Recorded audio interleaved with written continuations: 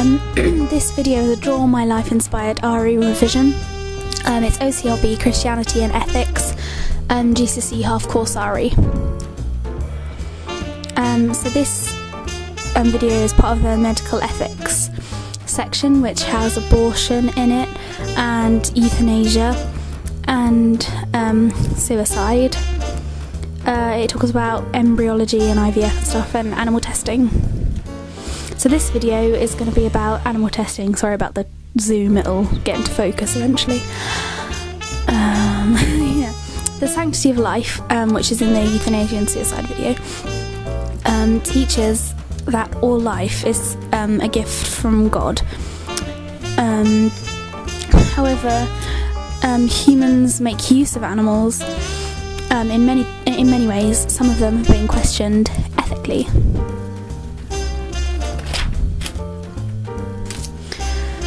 So there are obviously two sides of the argument, and Christians generally have their own like personal view on this, but there's basically for or against animal testing.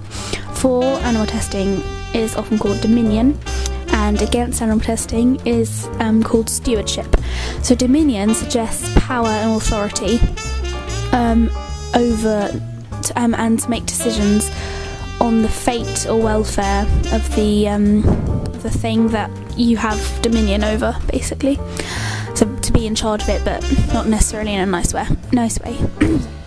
Stewardship is to look after something, making decisions based on the best interests of the thing that you're looking after. So it's kind of suggesting a more compassionate role. Dominion is based on Genesis.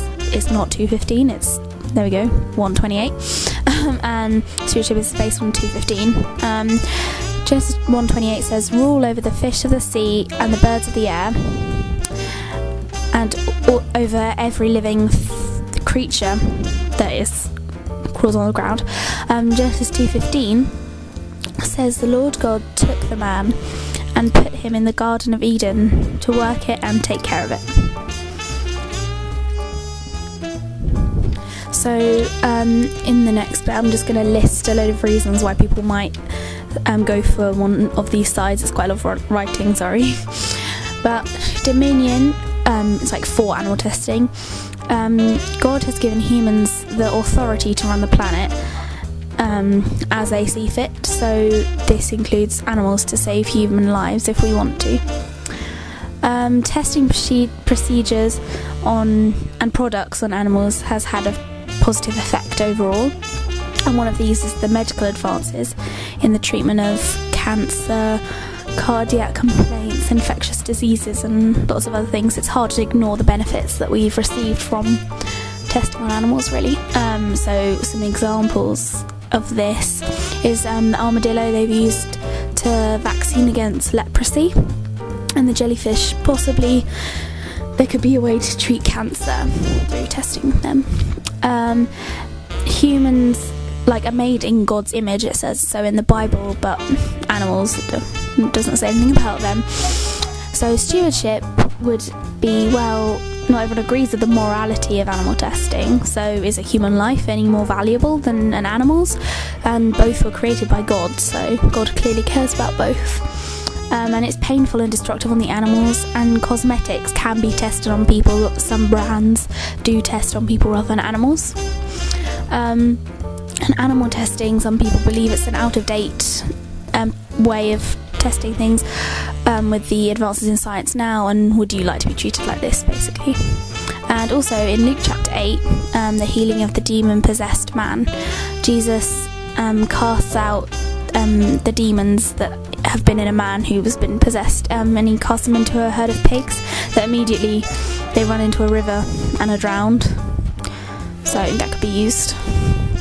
Um, Catholics in the Church of England have pretty similar views on this um, just that animal testing is okay, but no unnecessary suffering really. Um, that it should take place. Um, however, um, oh sorry, Catholics are they are a bit harsher than the Church of England really because they believe that animals don't have souls. But Quakers are against violence, so no experiments, basically. There we go. Animals don't have souls, according to Catholics.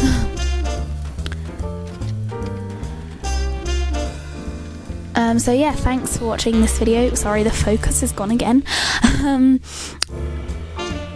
okay, I don't think it's coming back. But basically, my next video is going to be on, um, like, IVF, fertility treatment, embryology.